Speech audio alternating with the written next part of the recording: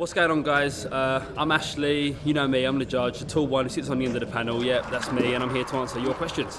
Thanks, Evolution. You asked me, is it hard to tell the truth to the ex?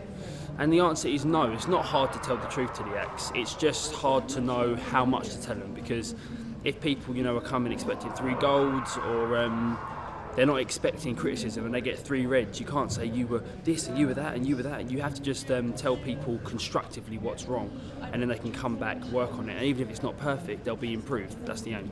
Hello, Katie Gittens. You asked me who is the messiest judge. Now, I'm an honest man and I'd probably say me.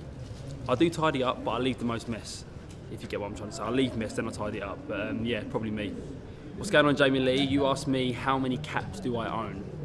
And the answer is I actually have no idea. Too many, that's the answer. Um, hundreds and hundreds, loads that I don't even wear anymore, they're just in boxes. But um, yeah, I need to get rid of some of them, but uh, yeah, too many. Thank you guys for all your questions. Keep sending them into Facebook and Twitter, and we will keep answering.